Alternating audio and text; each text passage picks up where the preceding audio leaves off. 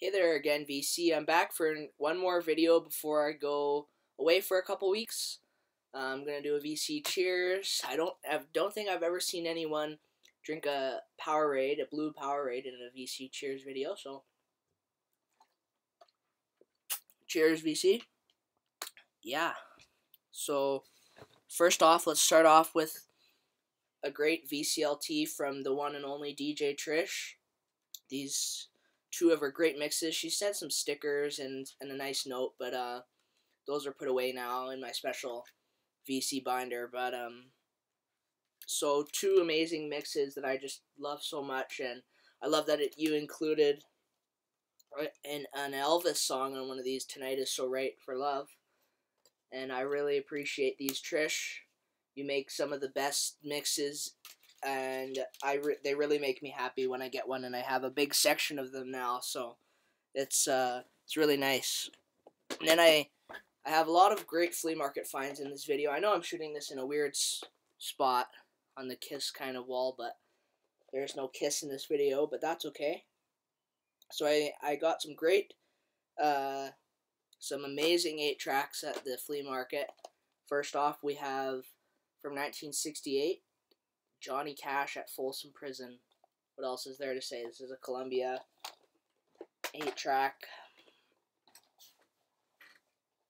Just finding a place to put all this stuff. And I'm just trying to. And then we have a Johnny Cash I Walk the Line on Birchmont 8 track.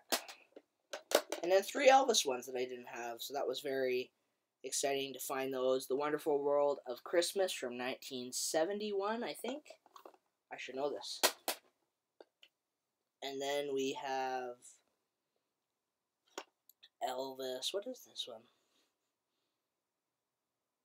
Then we have.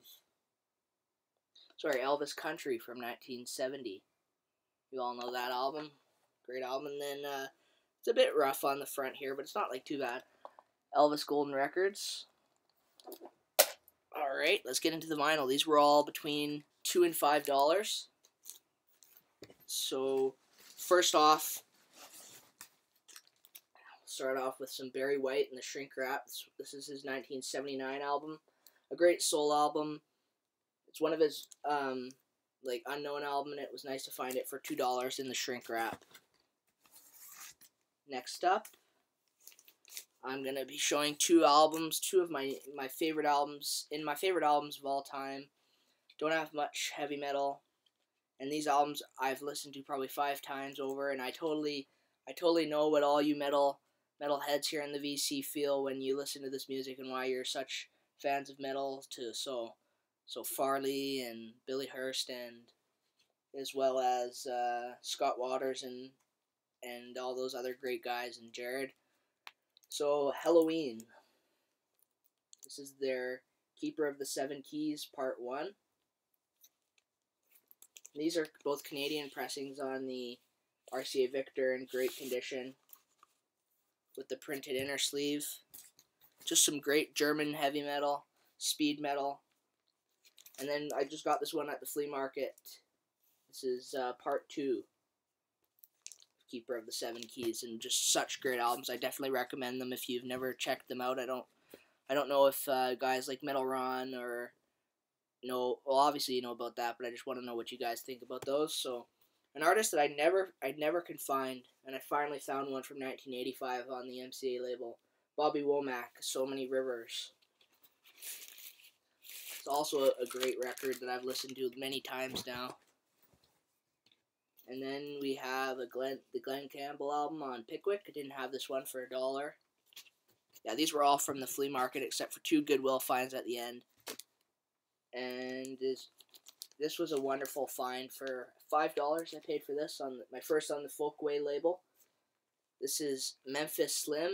This one's from 1961, and it's some boogie woogie blues kind of stuff. And these Folkways have those great inserts. I don't have to show you, but that explained the music, and that was great because I can't, I don't find blues albums for cheap, ever. And a great album from Flatt and Scruggs, When the Saints Go Marching In from 1962. Still in the shrink wrap, kind of. It's starting to tear a little bit, but. and I, I really enjoyed that on on Columbia. Next up, uh, a very interesting Everly Brothers from 1972 on the RCA Victor, and this was produced by Chet Atkins. It's a very interesting album. The title's kind of weird, but um, it's not not what you expect from the Everly Brothers, but it was pretty enjoyable.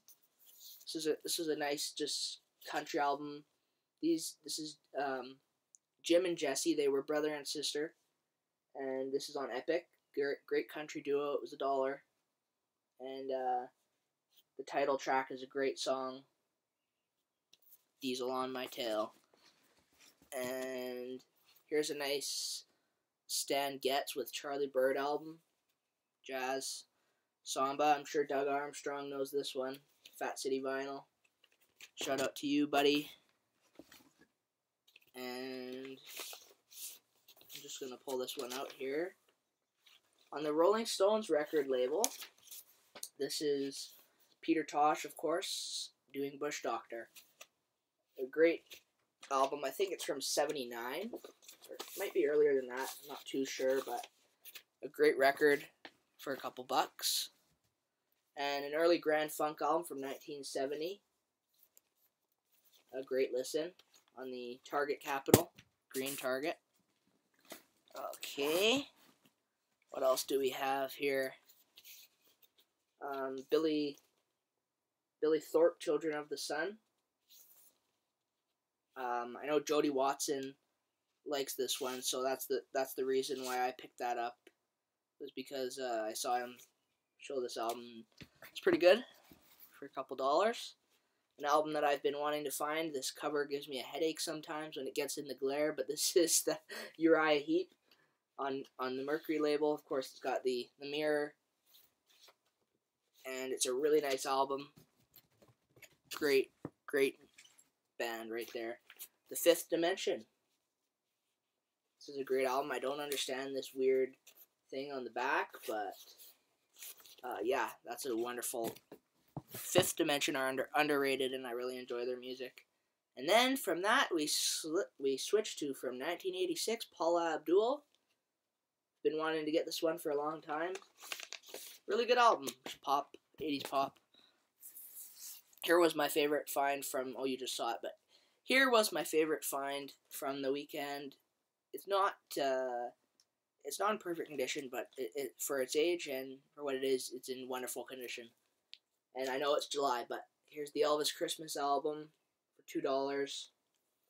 And this is the Canadian pressing, mono from '58, in really nice condition. And I was just shocked to find that because I just don't see that version of the Christmas album a lot. And my, um, sorry, Merle Haggard, his tribute to Elvis, my farewell to Elvis wonderful record. What more can I say about Merle? And great tribute from 1977. Now, a really early Hank Snow album that I that I've never seen, and I really enjoyed this one. This one's from '57 on the RCA label, of course, and that's a great album. Great country music from Canada. Great Canadian country artist and uh, Tammy Wynette's second album with uh, David Houston in the shrink wrap on Epic from 67. Just a few more here, guys. And a Johnny Cash album I didn't have. Uh, Legends and Love Songs from 1968. This is a, a club edition from Columbia. So it's, it's always good when I can find a Johnny Cash album that I don't have. And then last but not least, we have two Goodwill finds and first one is a 12 inch single to Marvin Gaye's Joy off of that great album Midnight Love. Um, there haven't been many records recently at Goodwill for a long time. And we'll end this video off with uh, great, the great Jim Reeves from this wonderful Canadian compilation series that I have a lot of, the Elvis and the Waylon Jennings. And if you can find these compilations, they're really nice and they sound good. And that that's it for me, VC. I'll I'll see you guys in a couple weeks. Going to enjoy a vacation, and I, I know I said I wouldn't be back, but you know how it goes. You you go to the flea market and and you find some stuff, and and yeah, so I thank you guys so much for watching and supporting the channel. So take good care, and uh, I'll talk to you guys in a few weeks.